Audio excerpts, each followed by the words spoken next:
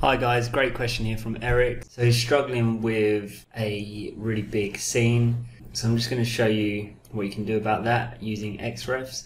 So say we have a scene and it's really high poly. I'm just going to quickly demonstrate using uh, boxes here. So nothing special, but let's say this is our interior scene, for example. I know that's really hard to imagine, but this is it. So I'm going to go to File, Save As. I'll just save that on my desktop and call this interior. And then I'll start a new scene and I start creating my exterior trees, etc. and this is quite a large scene in itself. So there's a couple of things we can do. We could save this as its own scene. So let's call this exterior.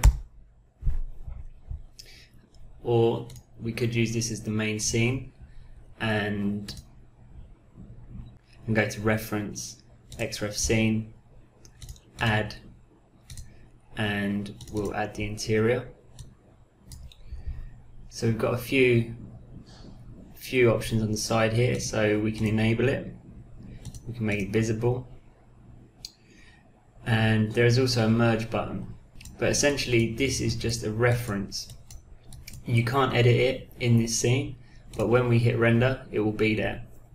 So if you've completed your interior you can use this and obviously we can still edit the exterior.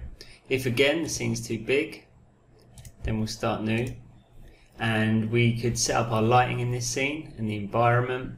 So just just to demonstrate like let's change our environment to this purple color. And then you can set all your your lighting maybe your your background up in here. And we'll go to references xref scene. Let's add we'll add the exterior. Then we'll add the interior and you'll see that this has got both of the references in. And we've got no polys or verts in here so this is, is saving a lot of memory. Now you might want to edit um, the exterior for example. So I would advise just going back in and opening up the exterior making the changes saving it and then you can go back into this scene. If you reopen this scene it will update automatically. And if you don't then you'll just have to hit exterior and hit update now. I wouldn't have automatic on because that can slow down your computer. If for whatever reason you do want to bring these references into the scene, you can hit merge and it will merge the XREF into the scene and now we can edit it in here. Um, so you, you can use that way and then perhaps select all the exterior objects and then save selected and save over that exterior, for example, and then you'd be able to delete